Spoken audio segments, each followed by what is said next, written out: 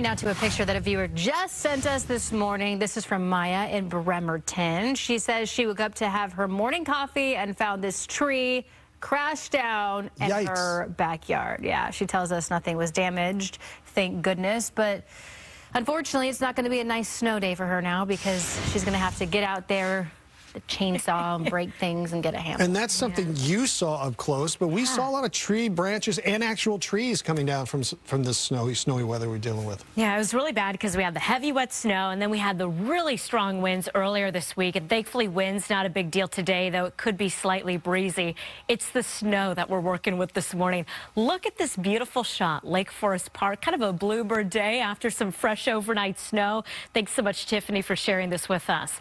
A lot of spots in Puget Puget Sound waking up to snow. These neighborhood roads are in rough shape. Sidewalks, driveways, parking lots. Be careful out there, everybody. Uh, this is from snow late last night, North Seattle. Anthony, thanks for also uh, capturing that shot for us.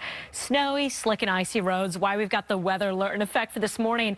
Some of the heaviest snow over the Kitsap Peninsula, the Hood Canal, many neighborhoods in Puget Sound, but not everybody. Any showers out there right now tapering quickly. In general, chilly afternoon sunshine. And even though we're going to get a lot of melting done, if these sidewalks, parking parking lots are not treated overnight.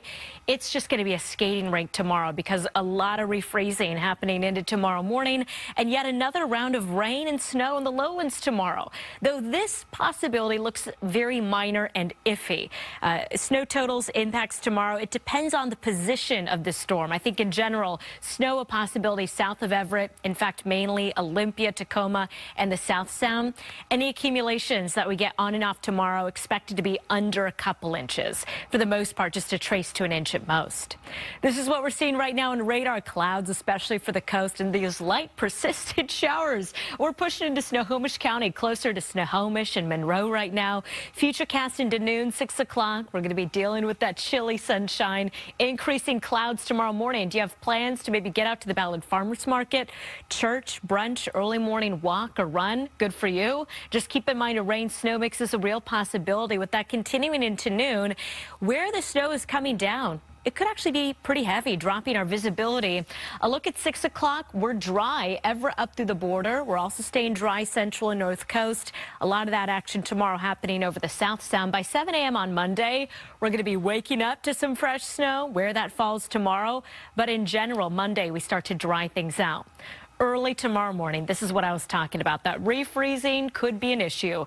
We're dropping to the mid to upper 20s. Any precip that falls early tomorrow morning, like falling in the form of snow, not rain.